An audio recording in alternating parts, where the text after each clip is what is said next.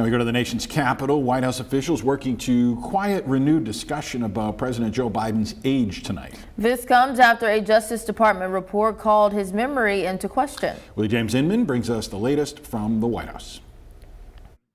After meeting with Germany's chancellor, President Biden declined to take questions about the special counsel's report.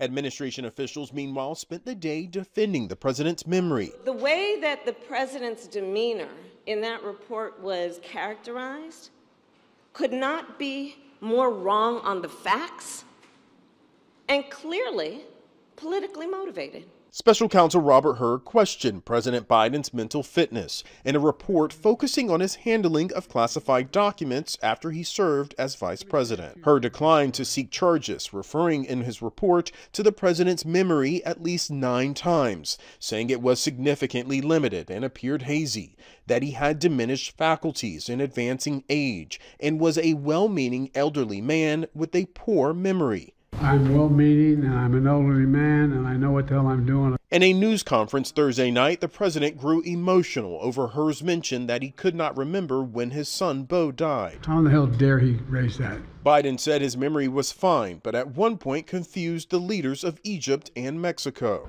The president of Mexico, Sisi, Biden's chief political rival, former President Donald Trump, faces federal criminal charges stemming from his handling of sensitive documents. And he recently mixed up Nancy Pelosi and Nikki Haley when discussing January 6th. Trump was on the campaign trail in Pennsylvania Friday night where he took jabs at President Biden's mental capacity. We have a guy that can't put two sentences together, and he's in charge of negotiations with Russia, Meanwhile, the Supreme Court is weighing whether his efforts to overturn the 2020 presidential election results make him ineligible to run again. Willie James Inman, CBS News, Washington.